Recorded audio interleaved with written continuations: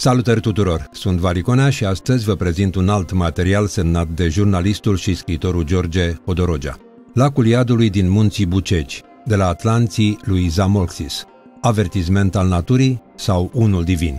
Un fenomen ciudat. De câteva ori pe an, pe crestele misterioase ale bucegilor, își face apariția un lac straniu, anunțat de vânturi puternice și grindină. Fiecare apariție a acestui lac, caracterizată de localnici drept prevestitoare de nenorociri, pare să fie însoțită de moartea unei persoane, ceea ce amplifică aura sa misterioasă și înfricoșătoare. Locuitorii din Poiana Țapului povestesc că lacul enigmatic este în credința lor un portal spre iad. Aflat într-o zonă inaccesibilă, departe de civilizație și de privirile curioșilor, lacul apare și dispare conform unor legi necunoscute și neînțelese. Existența lui este atestată de un bogat folclor local, care sugerează că lacul a fost martor la evenimente stranii din vremuri imemoriale, fiind asociat atât cu legendarii atlanți, cât și cu marele preot și zeu al dacilor Zamolxis. Comunitățile din munții Bucegi evită acest loc pe care îl consideră blestemat. Se spune că lacul solicită un tribut anual de vieți omenești, o credință care a fost transmisă din generație în generație, alimentând teama și superstiția. Povestirile locale, întrepătrunse cu evenimente inexplicabile, continuă să întrețină mitul acestui lac misterios, atrăgând doar pe cei mai curajoși sau sceptici exploratori în căutarea adevărului. Avertisment al naturii sau unul divin?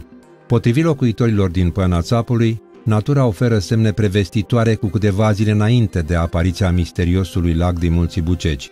De 3-4 ori pe an și uneori chiar mai rar, vremuri extreme anunță formarea acestui lac.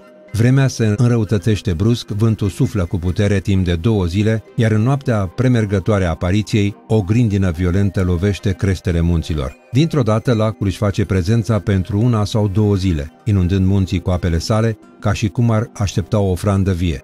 Brusc, lacul dispare imediat ce cineva își găsește sfârșitul în apele sale. Legendele locale menționează numeroase cazuri de oameni, atât locali cât și străini, care și-au pierdut viața în apele acestui lac blestemat. Legenda vrăjitoarei Se spune că de mult, în vremuri de mult trecute, în zona unde astăzi apare misteriosul lac al Bucegilor, trăia o vrăjitoare puternică. În acele vremuri, lacul era permanent și în inima lui, pe o mică insulă, se afla locuința vrăjitoarei.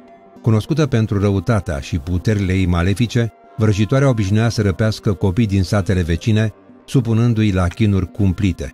Disperați și înfricoșați de puterea vrăjitoarei, sătenii s-au răzvrătit de nenumărate ori, dar mereu fără succes. Vrăjitoarea era prea puternică pentru a fi înfrântă.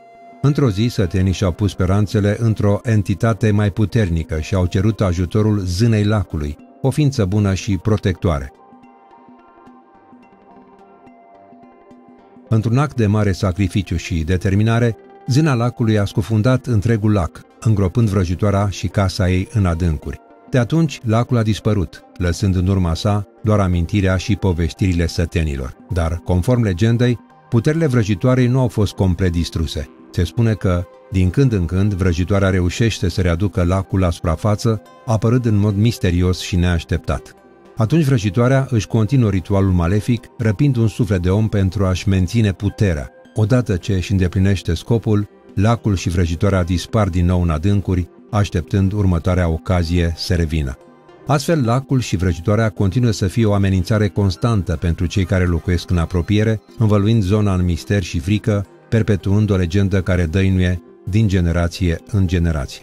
Sacrificii rituale în adâncurile misterioase ale munților Bucegi se ascund legende urbane care vorbesc despre un popor străvechi și enigmatic, Atlanții, care se spune că s-au stabilit în această regiune cu mii de ani în urmă. Se povestește că Atlantii și-au ridicat un templu magnific în inima munților, unde aveau loc sacrificii umane închinate zeilor lor. În timp ce dacii, locuitorii originari ai acestor pământuri, își aruncau tinerii viteji în sulițe pentru a transmite mesaje zeului Zamolxis, sacerdoții atlanți ofereau tineri și fecioare drept ofrande în apele reci ale unui lac sacru, cu speranța de a-și câștiga bunăvoința zeilor. Ritualurile lor macabre includeau sacrificarea fecioarelor, al căror spirit, conform credințelor lor, părăseau trupul de carne și sânge pentru a sluji în fața Marelui Zeu. Lacul, inundat odinioară de sângele tinerilor sacrificați, părea să își dezvolte o sete insațiabilă pentru sacrificii umane. Se spune că, obișnuit cu aceste ofrande, lacul blestemat reapare din când în când, cerând tributul său de vieți omenești. Lacul nu dispare până când această credință nu este îndeplinită, absorbind sufletul unei victime, așa cum se întâmplă și se întâmpla în vremuri străvechi. Intrigant, în apropierea lacului, unde locul apare periodic, arheologii au identificat un loc de sacrificii rituale ale preoților daci. Deși legăturile temporale și culturale rămân neclare, aceste coincidențe ridică semne de întrebare în mințile celor care explorează aceste legende. Poarta de intrare în iad. În această zonă enigmatică din munții Bucegi, legendele despre lacul blestemat au căpătat un contur înfricoșător, având la bază povești reale despre moartea unor persoane în acele ape. Desigur, decesele produse pe crestele munților, în apropierea locului unde apare periodic lacul misterios, au alimentat aceste povestiri.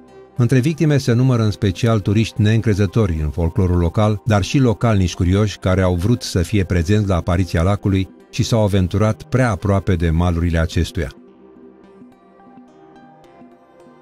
Aceștia păreau atrași ca vrăjiți spre ape, ca sub influența unui cântec de sirenă, împotriva căruia nu se putea opune, sfârșind înnecați în adâncuri.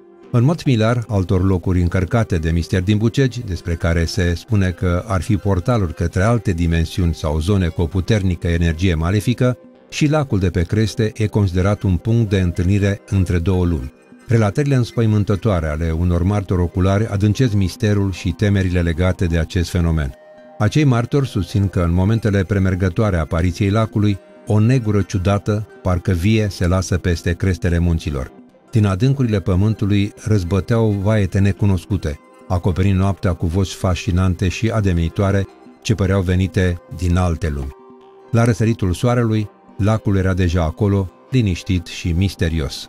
Dacă iadul există cu adevărat, atunci cu siguranță că pe acolo e intrarea, a concluzionat Ion Barbucot, un pasnic comunal din Poiana Țapului, care a trăit pe viu apariția lacului Bestemat. Mărturia sa, alături de alte povești, întăresc legenda lacului Bestemat, a cărui prezență efemeră și fatală continuă să bântuie imaginația localnicilor și a vizitatorilor deopotrivă. Există zei sau ființe superioare? Deși de mai bine de 2000 de ani creștinismul a învins ultimii zei păgâni, în unele zone, chiar și în România, amintirea acestor ființe fantastice este încă foarte puternică. Oamenii cred în același timp atât în Dumnezeu și în sfinții din calendarele religioase, cât și în entități cu puteri supranaturale și, teoretic, sunt conștienți de puterea acestora. Și un astfel de loc, după părerea unor români, mai ales cei care trăiesc în jurul munților Buceci, s-ar găsi ascuns în crestele bucegilor, înconjurat de misteri și de multe legende locale. Este vorba exact de subiectul nostru, adică de lacul care apare și dispare după legi bizare, dincolo de orice putere de înțelegere. Așa cum v-am mai spus, fiecare apariție a lacului dintre munți e însoțită de moartea sau dispariția unor persoane. Poate doar o coincidență, dar localnicii sunt convinși că e mai mult decât atât. În ultimul timp, mai mulți ufologi și nu numai au cercetat zona, au cules mărturii de la cei mai bătrâni localnici și au concluzionat faptul că mulți oameni cred în existența răului sub forma unor creaturi supranaturale care, conform vechilor obiceiuri, apar din neant, își au ofranda de sânge și apoi dispar iarăși în tenebrele iadului. Trecuseră trei turiști pe la stână și după ce omenisem cu ceva brânză și o răchie, m-au întrebat dacă știu unde este locul lacului blestemat. Le-am spus, dar i-am rugat să nu treacă pe acolo și le-am spus despre blesteme. Nu m-au ascultat și spre seară nu s-au mai întors. Am plecat cu Ilie, unul dintre ciobanii mei, a doua zi să-i caut. I-am găsit doar pe doi din ei, năuci, dar îmblagiți. Al treilea nu mai era, ci că îl înghițise apa lacului, a declarat ciobanul Adam Mihalcea. După două zile, când apa lacului secase, trupul celui de-al treilea turist a fost găsit mort, dar diform. Explicația medicilor legiși pentru moartea turistului a fost clară, deces prin înnec, dar nu au putut explica cum doar în trei zile corpul s-a modificat atât de îngrozitor. A fost știma apelor, a insistat ciobanul Mihalcea, dar, după cum a mărturisit el ulterior, echipa de la Brașov și București nu l-au crezut, ba chiar l-au luat în râs. Divergențe între specialiști, localnici și ufologi. Trebuie totuși să remarcăm că, spre deosebire de cazurile anterioare de înnecați, în care trupurile celor morți aveau figura senină ca și cum moartea i-a surprins în cel mai frumos moment al vieții lor, de data asta, trupul celui necat era diform și chipul îngrozit.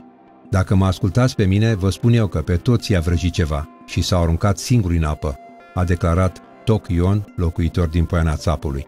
Contrar părerilor localnicilor, există și opinia domnului George Mironescu, medicul legist care a autopsiat câteva din trupurile găsite în apa lacului. Dar și doctorul a fost intrigat de un amănunt, în aparență nesemnificativ.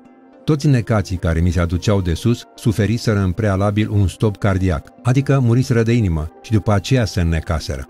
Un astfel de amănunt nu a apărut important pentru anchetatori, mai ales că nu odată apele reci de munte au provocat accidente de felul acesta. Dar, pentru cei care susțin existența unor puteri nevăzute în zonă, acesta e doar semnul că victimele au fost și sunt ritualice și că nu e doar o pură coincidență moartea lor prin stop cardiac. Numărul celor care mor în acest fel este extrem de mic, comparativ cu cei care se scaldă în apele reci de munte. În plus, cei care fac stop cardiac în aceste condiții au avut în trecut probleme cu inima, fie moștenite de la părinți, fie căpătate în timp.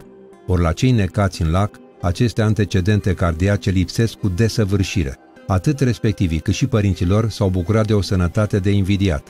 Este clar că stopul cardiac nu a fost provocat de cauze naturale, ci de intervenția unor entități nevăzute, a declarat Mioara Florea, medium și ufolog din Bușteni. Mioara Florea spune că a studiat mai multe fenomene paranormale petrecute în munții Bucegi. Domnia sa susține că în munții respectivi s-ar găsi mai multe puncte de tangență către alte lumi, lacul fiind unul dintre ele.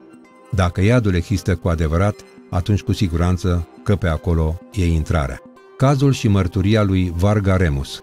În ceea ce îi privește pe localnici, aceștia spun că unii dintre ei au încercat să vadă despre ce este vorba, adică să fie de față la momentul umplerii lacului cu apă.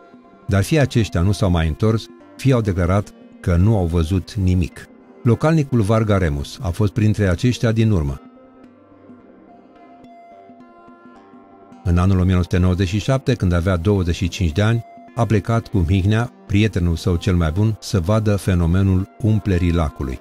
Imediat cum au început vânturile, ne-am îmbrăcat bine, ne-am luat o sticlă de pălincă la noi și ceva de mâncare și am purces la drum înainte să se lase noaptea și să înceapă să bată grindina. Dar se pare că lucrurile nu au mers așa cum s-au așteptat cei doi curioși.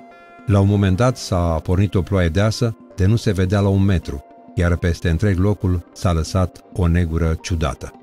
Am auzit vaetele din adâncul pământului. Nu am ce să vă povestesc. Așa ceva depășește puterea de înțelegere a oricui. Mi se făcuse părul măciucă în cap de frică. Părea că geme însuși pământul și cere viață de la om, a declarat Remus Varga. Cât despre negura care îi încolțise, martorul a spus că era ceva ciudat în legătură cu aceasta. Aveam impresia că e vie, că din ea mă privesc ființe nevăzute. Ba chiar simțeam atingeri, dar la vremea respectivă le-am pus pe seama fricii. Nu știu cât a durat totul, dar la primii zori negura s-a ridicat și lacul era deja acolo. Dar când s-a ridicat negura, Remus a constatat cu groază că prietenul său, Mihnea, nu mai era de găsit. Dispăruse, se pare odată cu negura. Atunci am înțeles că vocile l-au ademenit și că el a fost ofranda pentru cine știe ce zeu păgân care stăpânește lacul. O coincidență misterioasă a padacilor. În apropiere de locul unde apare și dispare lacul Bestemat se află două lacuri statornice, Bolboci și Scropoasa, iar între ele se află cele șapte izvoare, socotite prin tradiție ca fiind apă sfântă a strămoșilor daci. Cercetările științifice făcute la șapte izvoare au confirmat că apa ce izvorăște din muncii Bucegi este foarte pură și poate sta alături de celebrele ape din Occident, Evian sau Perier. În negura timpului, legendele vechi povestesc de Zamolsis, marele zeu al dacilor, care și-a potorit setea la niște izvoare sacre, ascunse în adâncurile munților Bucegi. Apele acestor izvoare, cunoscute de puțini sub numele de șapte izvoare, sunt creditate pentru transformarea sa din muritor în zeu nemuritor. La fel ca și lacul Bestemat, izvoarele rămân ascunse de ochii omului obișnuit, având o aură de mister ce învăluie stâncile și pădurile de pe versantul estic al munților. În ultimii ani însă, locul a devenit un punct de pelerinaj pentru pasionații de istoria dacilor, ufologii căutători de comore antice, care speră să descopere secretul apei miraculoase. Legenda despre nemurirea lui Zamolkis, obținută după ce a băut apă de la șapte izvoare, nu a rămas necunoscută conducătorilor moderni. Fostul dictator Nicolae Ceaușescu, obsedat de ideea vieții veșnice, a aflat despre magia acelor izvoare și l-a însărcinat pe profesorul Ion Ursu să le găsească și să verifice calitatea apei. Misiunea profesorului era să confirme dacă apele izvoarelor ar putea aduce nemurirea, așa cum spuneau legendele. Așa de puternică a fost fascinația lui Ceaușescu pentru aceste ape, încât a dat ordin de interdicție pentru zona presupusă a fi locul unde existau izvoarele sacre. Regiunea a fost înconjurată de un val de secrete și restricții stricte, crescând și mai mult misterul din jurul legendei. Se spune că, deși zona rămâne încă interzisă și păzită, sunt cei care reușesc să se strecoare prin stâni și păduri în căutarea izvoarelor nemuririi.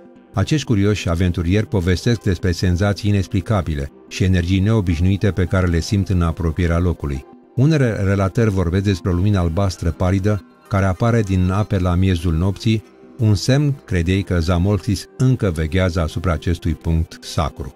Toți cei care ajung acolo și au curajul să bea din apa de la șapte izvoare păstrează un secret vechi de mii de ani, sperând că și ei, asemenea marului Zamolxis, vor dobândi nemurirea.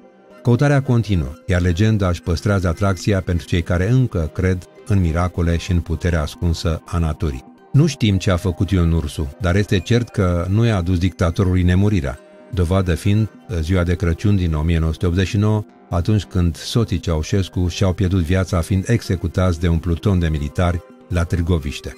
Și ca fapt divers, simbolul celor șapte izvoare este inscripționat pe scuturile de luptă dacice, sculptate pe columna lui Traian și pe replica acesteia de la Muzeul de Istorie București. Și o curiozitate, debitul izvoarelor este de peste 100 de litri pe secundă, iar sursa de apă nu a secat niciodată. Iar testele magnetometrice au arătat că în întreaga zona izvoarelor există anumite anomalii ale magnetismului.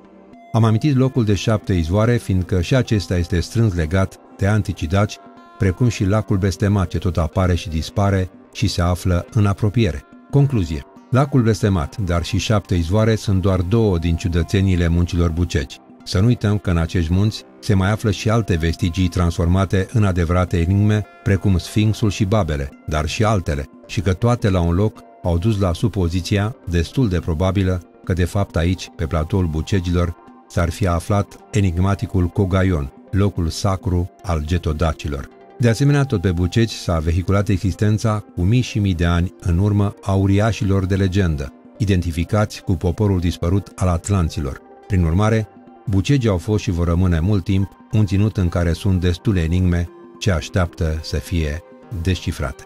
Acesta a fost materialul semnat de jurnalistul și scriitorul George Hodorogea. Sunt Valicona și până data viitoare vă urez să aveți parte de tot ce vă doriți.